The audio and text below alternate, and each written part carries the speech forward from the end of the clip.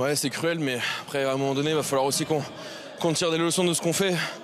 La semaine dernière, on a été sanctionné sur chacune de nos fautes par La Rochelle. Cette semaine, c'est pareil. Dès qu'on a tenu le ballon, on, les a mis en danger.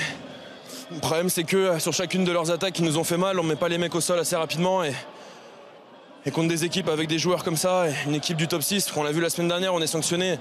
Ce soir, le score, il est, il est lourd. Et ce qui est rageant, c'est qu'on arrive à mettre 30 points. Et, et avec une défense comme ça, aujourd'hui, c'est difficile. C'était une de nos qualités sur nos principaux matchs à l'extérieur depuis le début de saison. Et là, on, repart, on part bredouille et avec beaucoup de leçons à tirer. On, se déplace à Clermont la semaine prochaine, on sait à quoi s'attendre.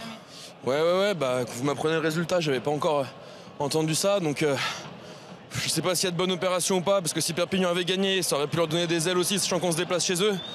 On sait ce qu'il nous reste à faire, on, va recevoir Agen, on va se déplacer à Perpignan. Il faut qu'on prenne ces deux matchs, mais, d'abord, euh, si on veut revenir dans la course, il faut qu'on ait gagné un match à l'extérieur.